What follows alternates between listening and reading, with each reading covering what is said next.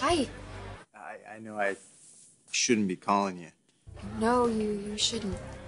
I just needed to hear your voice. Is something wrong? Uh, well, I'm not your boyfriend. Other, other than that, um, I miss you. I miss you too.